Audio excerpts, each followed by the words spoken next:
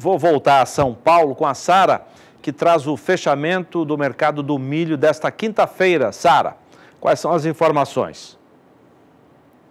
Vamos lá então, Zaida. Primeiro milho em Campinas, né? Indicador CPE, mercado físico brasileiro, hoje há uma queda de 0,68% no milho em Campinas, que com isso recua para R$ 36,38 a saca.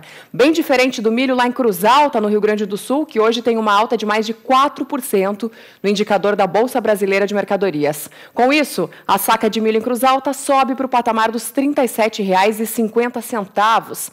Bem rapidinho também, Zaidão, indicador do boi gordo, mercado físico brasileiro, indicador CPEA. Arroba do boi gordo hoje, olha só, tem uma alta de quase 1,5% e com isso sobe aqui no estado de São Paulo para R$ 153,70 a arroba do boi gordo nessa quinta-feira.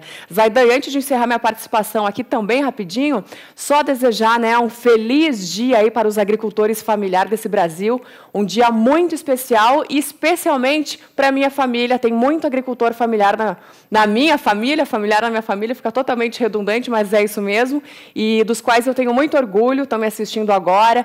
Já tentaram me ensinar muitas coisas na lavoura, tentaram me ensinar a tirar leite de vaca quando eu era criança, então eu tenho uma imensa gratidão por eles. E seu trabalho no agro hoje é graças à minha família que está me assistindo. Um beijo para vocês e para todos os agricultores familiares que nos acompanham nessa noite.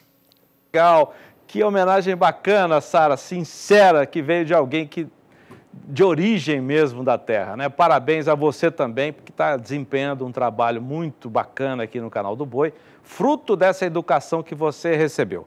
Parabéns à família Kirchhoff, do Rio Grande do Sul, agricultores familiares.